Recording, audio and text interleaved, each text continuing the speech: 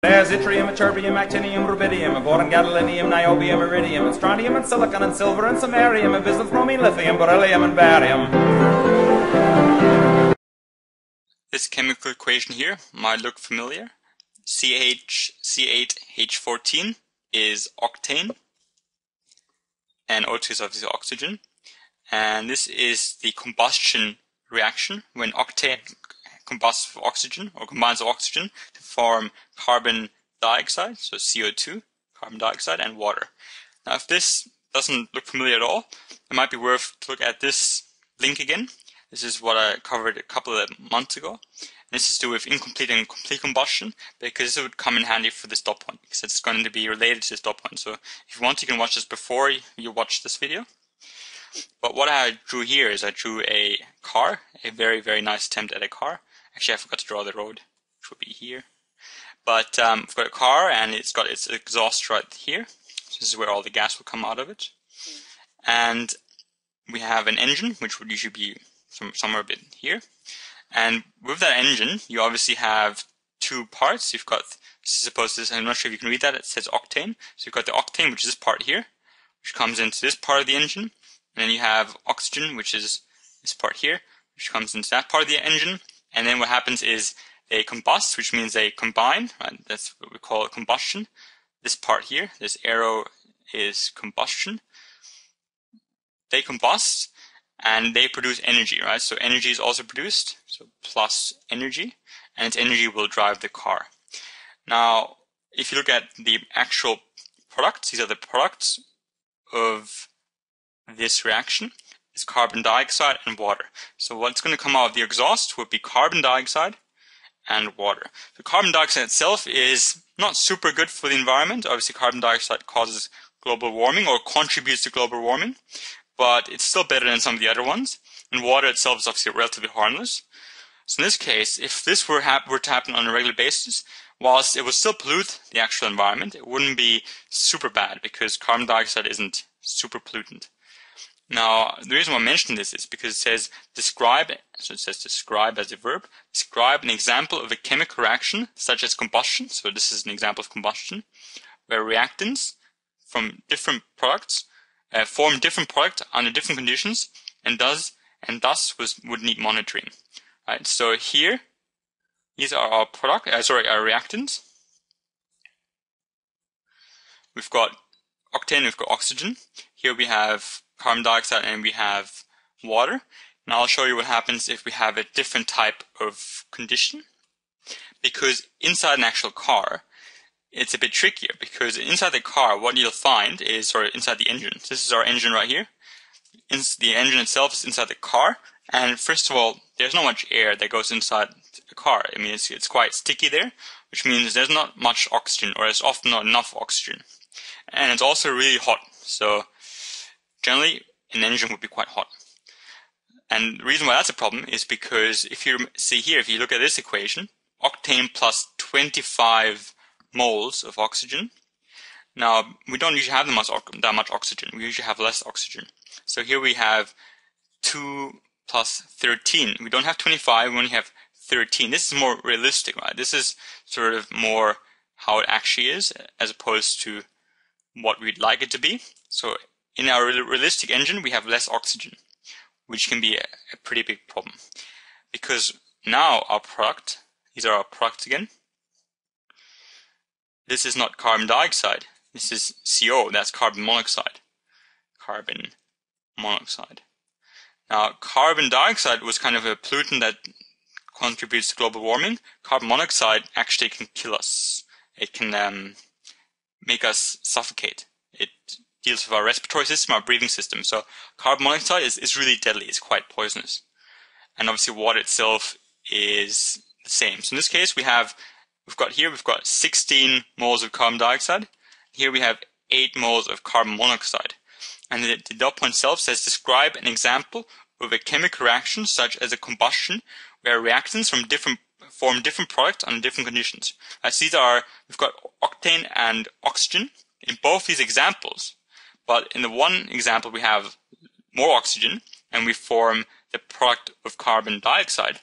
Whereas in the other example, we have less oxygen and we form the carbon monoxide. Right? So these are different products, even though we have the same reactants. So that's what that part means. We have the same reactants, but we have different products. And the reason why is because we have these different reactions, uh, different conditions, sorry. In this, in this case, not enough oxygen. And what also is important is, remember, what does the atmosphere have? It has mostly oxygen, but more than oxygen, it also has nitrogen. Now, nitrogen itself, NO2, which is nitrogen gas, that's no problem at all. But once it gets inside of the engine, what will happen is because it's so hot, right? We need to have high temperatures for nitrogen gas to combine with oxygen to form something called nitrogen monoxide. Now, nitrogen monoxide, if the temperatures remain high for a long enough time, will then combine with even more oxygen to form nitrogen dioxide. And remember, what was this? Nitrogen dioxide. This was caused acid rain. So this is really poisonous. Again, these are different. So usually we might have, you know, these these reactants here. We've got usually we always have nitrogen and oxygen in the air, right? So that's that's usual. These reactants are always in the air, but if the conditions are different, so if there's no high temperatures, then we won't form carbon, uh, nitrogen monoxide or nitrogen dioxide. Without high temperatures, we won't form that. But because we have high temperatures, so the, the condition is different, we form these pollutants. So again, that's how we have same reactants, but different type of products, depending on the conditions, depending on the temperature in this case. Normal temperatures, we don't form it. High temperature, we form it. Same with the octane. Usually octane combines with oxygen to form carbon monoxide, but if we don't have enough oxygen, so if the condition is different, we will form not carbon dioxide, but carbon monoxide. So in this case, that was at least the first part, the where reactants form different products under different conditions and does need monitoring. So obviously, if for example we produce carbon monoxide, which is really poisonous for us, which can kill us, or we produce lots of acid rain, that means we need to we need to monitor this. We need to make sure we don't pollute too much of it. That's why, if for example in cities that have lots of cars driving around, we'll make sure we monitor the air because we fear not that we're producing too much carbon dioxide. That's also a problem, but we fear that the cars might produce too much carbon monoxide and too much nitrogen dioxide.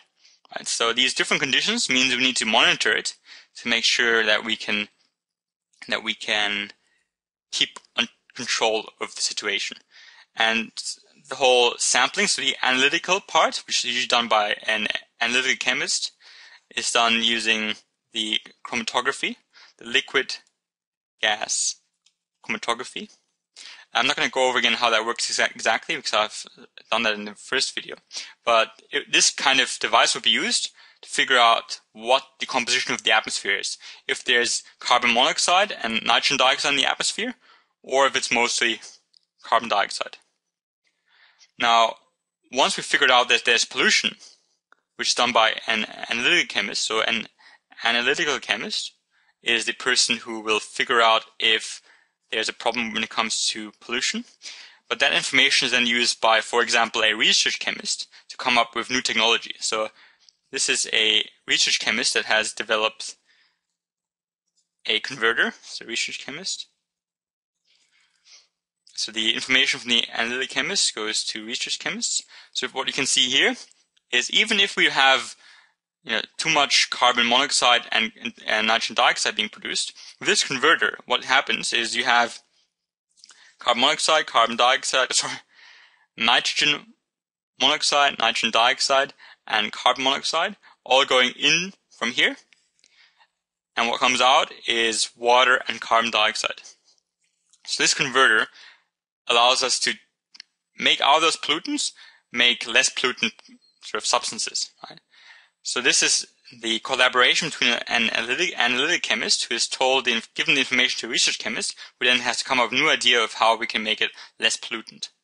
Right? So I'll quickly go over the dot point again. Describe an example of a chemical reaction such as combustion, where reactions form different products under different conditions and thus would need monitoring. Right?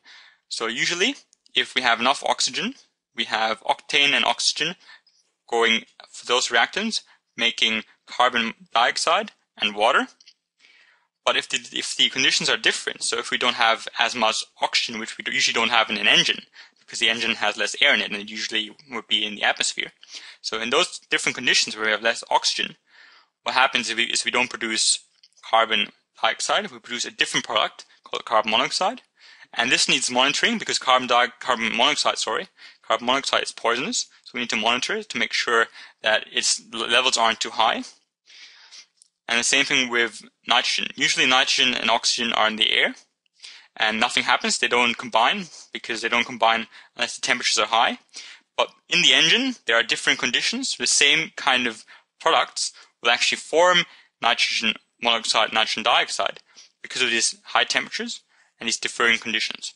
And again, this needs to be having this needs to be monitored because nitrogen monoxide and dioxide can produce acid rain, which is deadly. And these are two examples of things we need to monitor to make sure that pollution isn't too bad. But the good thing is, with this co- uh, collaboration between scientists, the analytic chemist will figure out that there's a pollution problem, and the research chemist will come up with a new solution to the, the problem, and will make sure that the pollution goes down, which this converter helps us to do. I hope that was useful. Thank you for watching.